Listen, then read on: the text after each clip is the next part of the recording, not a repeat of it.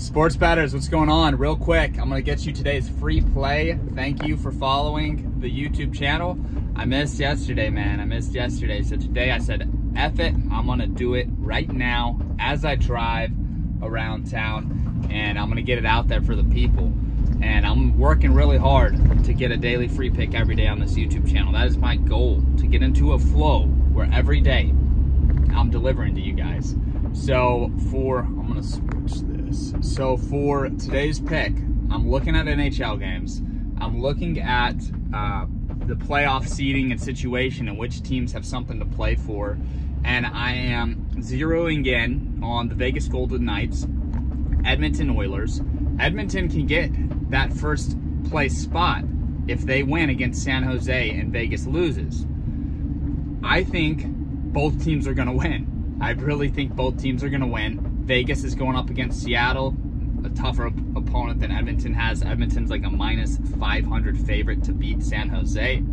I like Edmonton on the puck line. It's minus 180 right now, and it'll probably get up to minus 220 by the time puck drops. Uh, so, you know, you can chirp me in the comments and say, oh, you're giving a minus 180 play. Look, guys, the way it works is with a, with a, say it's a minus 200 play to make the math easy.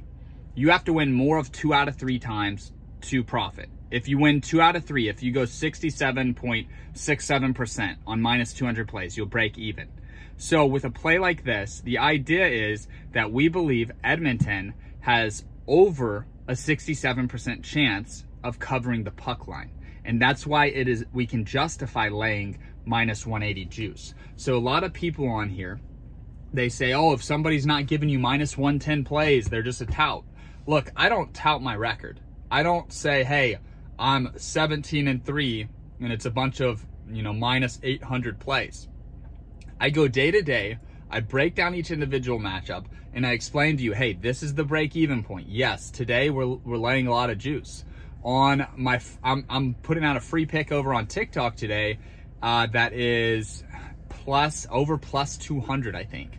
So it's it's a lower percentage play. The break even point for that one is much lower.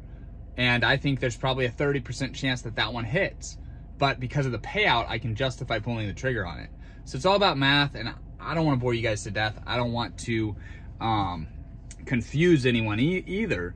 But most people that watch this page are a little bit higher IQ than uh, some of the people that watch over on TikTok. So if you're, if you're on YouTube going around getting everybody's free pick of the day, you're probably doing yourself a favor and you're probably more more intelligent. But that's how I bet.